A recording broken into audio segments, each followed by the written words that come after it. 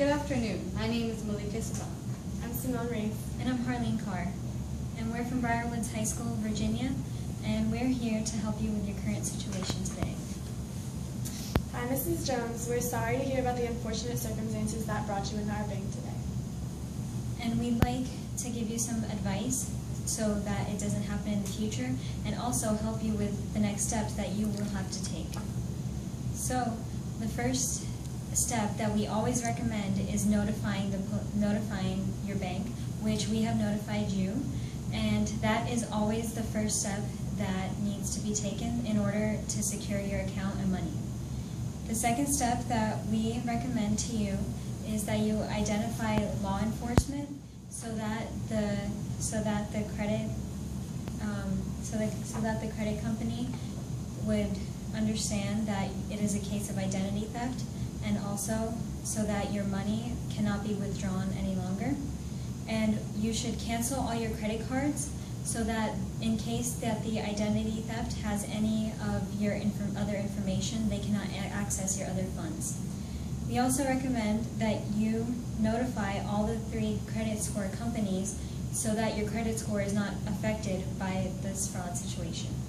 The three main credit score companies are TransUnion, Equifax, and Experian, and we would recommend that you write individual letters to each one of them to notify them of your situation and so it will not affect your credit score. We also would advise you to make sure that when you get paid, it's wired into a secure account to make sure that your money doesn't get stolen again. And we can also, we noticed that your account had was there was more money taken out of it than was in it, so we are able to waive those overdraft fees for you. We would also recommend you get a new PIN number and all new credit cards. You need to cancel your credit cards. And we, as a bank, will send you credit cards in the mail. We'll send you new ones. Mm, the FDIC uh, insures your money in your account up to $250,000. You lost approximately $42,000, so in theory, we should be able to give you all your money back. For the future, to best prevent the situation, we do have a few tips for you. Um, one of them is avoid buying from suspicious street vendors or stores that you do not trust, or online shops that don't have a secure connection, which can be verified by looking at the beginning of the URL to see if it has HTTPS, representing a secure connection. You must make sure to avoid these websites that don't have this on both your um, phone and your computer. In addition, we recommend changing your password to your checking account or any uh, online banking that you have to have at least six characters, one capital letter, at least one number, and even a symbol for extra protection. In addition, you might want to consider getting a password to protect your mobile phone. And um, take, to take additional, additional steps to protect any life insurance you may have for your husband. In addition, you might want to consider getting a credit card that has your picture on the back of it so they can verify that it is you making the purchases.